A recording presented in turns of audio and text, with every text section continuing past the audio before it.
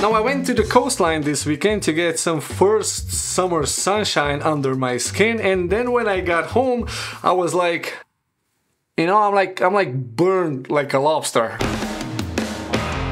Hey guys, welcome back to another video. Today is going to be the ultimate denoising challenge between Luminar Neo's artificial intelligence denoiser and Lightroom's brand new artificial intelligence denoiser. So let's see which one is better. And yes, this video is sponsored by Skylum and Luminar Neo. So if you want to try Luminar Neo out, use the link down in the description and get 10% off your purchase. And yes, I do get a kick if you click on that link.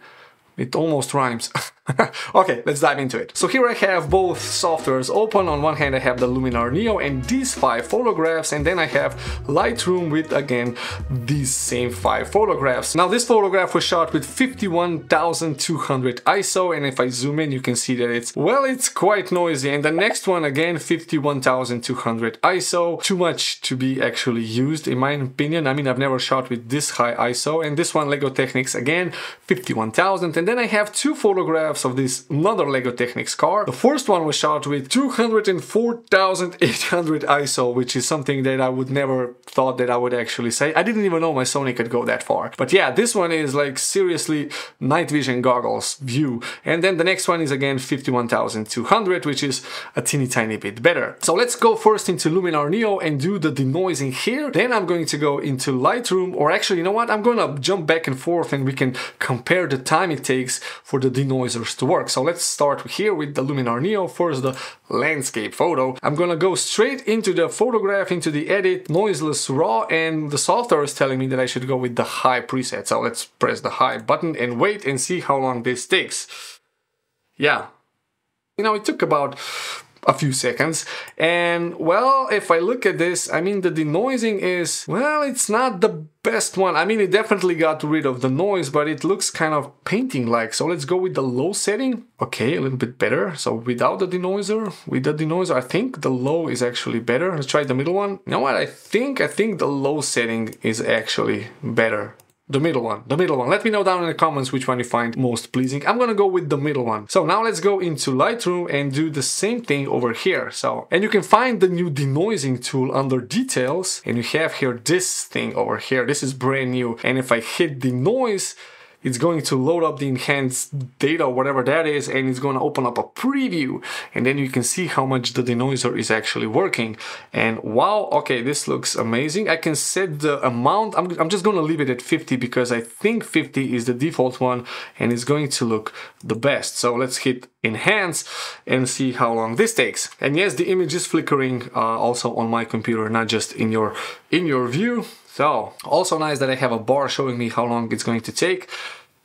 It's definitely taking longer than Luminar Neo. Okay, let's zoom into this one and see how much this improved the noise. I'm gonna go with 100% and if I go back to Luminar, here I'm also going to go to 100% and let's just compare these two if I can put them side by side like this. I actually think I prefer Lightroom's denoiser much more than this guy over here. Yeah, Lightroom, I think Lightroom wins this one, especially on this image. So uh, I'm gonna try the other images and you know, let's see the results. Oh, nice. Okay, this one's done. So Luminar is done. Middle, low, high. Now high really makes all of these weird artifacts happening. So I think I'm gonna go with the middle one again. Yeah, I'm gonna go with the middle one because I think that one looks the best. And I'm going to go into Lightroom and see what this did. Oh, wow. Okay, this is amazing. This is definitely, definitely amazing. So let me like to side by side again. I think the one over here from Lightroom is actually better. My god, one more photo to go and then I go to the deciding of which one is actually better. And this time I'm going to go with this guy. 204,800 ISO. Again, a word I thought I would never um, speak out in my mind. Oh, okay, Luminar finished. Lightroom is also finished, I think. Yes. Okay, let's first check out the Luminar one. High, low. Ah, now this this actually doesn't look nice, to be perfectly honest. And let's go into Lightroom and see how this worked. Wow. I mean, my God, this is uh this is amazing. Clearly, This is like unbelievable. I mean, the denoising with Lightroom is just fantastic. Wow, I mean, look at Luminar's, all of these weird artifacts that are happening here. Now just messing up everything. And Lightroom is just, you know, it's noisy, it's still noisy and grainy, but it's it looks like it's been shot with way less ISO than what it actually was. So uh, yeah, I think, I think in terms of how good this is, so let me compare the before and after. So if I compare these two photographs, like before and after. So this one is the raw file, and this one is the enhanced or noise reduction DNG. Now the cool thing about Lightroom is that when you do the denoising, Lightroom actually creates this new DNG file, so you know it's been denoised. Now there's one thing that I do in Luminar whenever I'm restoring an image, so denoising and super sharpening, is that I always export that photo into a TIFF file once it's denoised and sharpened, and then I use that TIFF file for the further edits. Otherwise it's too taxing on the computer and it's always going to try and update the denoiser and it just takes up a lot of time takes up a lot of, you know, processing power. Here in Lightroom, this is done automatically because the software actually creates a DNG file. It also tells you that it's going to do this when you're here. So, you know, reduce noise with AI and the result will be saved as a new DNG you can see right over here. I mean, amazing. And this one is already denoised. So Lightroom already knows that you've denoised this. Now, ironically, I said that this video was sponsored by Luminar Neo, but this one is just killing it. I mean, Luminar is a wonderful editing software if you want to create photographs like this. You have a lot of very simplified tools to get you to the result and I think it's tailored towards my type of photography which, well, looks like this. Now I can do the same thing in Lightroom and Photoshop and I actually need both of these to get a similar result. And in Luminar Neo I can get the result by just shifting a few sliders back and forth and this is why I encourage you to try Luminar Neo out. You also have a free trial so you can see how well it performs, the auto masking and the just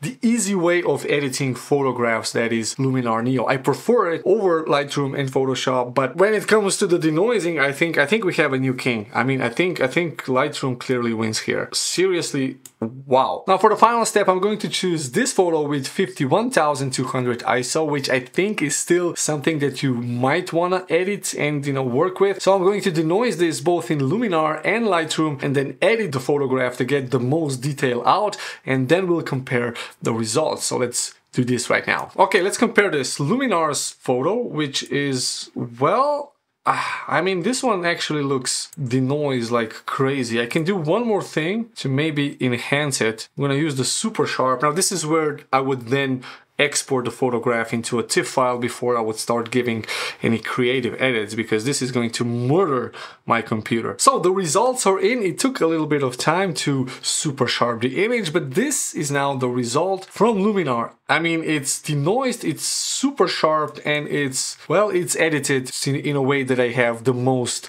detail out of the photograph. And considering that this was shot with 51,200 ISO, it's, well, it's a nicely restored image, I have to say. It's not the best looking image, but it's, it's nicely restored. Now, this one is from Lightroom, and oh my god, I mean, this actually looks like a completely different image. I mean, it's hard to imagine that both of these were you know, the same source file, 51,200 ISO, but I mean, the edit is not exactly the same, but it's like night and day in terms of how really clear this image is and how kind of poorly restored image the Luminar Neo did. I think we have the new winner in terms of denoising and it's definitely Lightroom's new artificial intelligence denoiser. So let me know down in the comments what you think. Are you using Lightroom or Luminar or are you using these artificial intelligence enhancements? I'm really curious to know, so let me know down below. Also consider subscribing to the channel, hit the like button for the algorithm and yeah, I mean, my god, this is going to help me a lot with macro photography.